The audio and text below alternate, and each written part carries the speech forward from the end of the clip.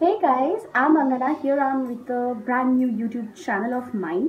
So basically, here I'm going to share some very easy makeup look and some very easy cooking recipes. So if you like my videos, then please keep on watching my channel and please keep on supporting.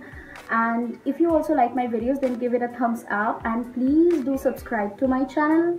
And you can share this with your friends, families, and whoever you want so not talking too much let's get into some onion some tomato some coriander half sausage and egg.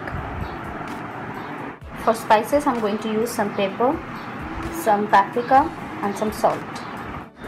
1 tablespoon sunflower oil and some ketchup according to your taste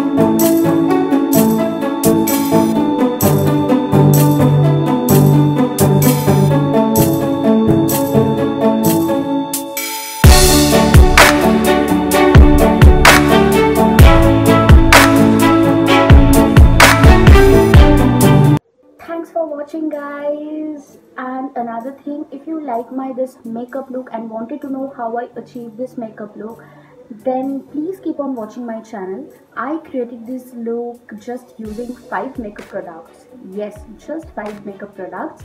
And very soon i will upload this makeup video in my youtube channel also. So please till then take care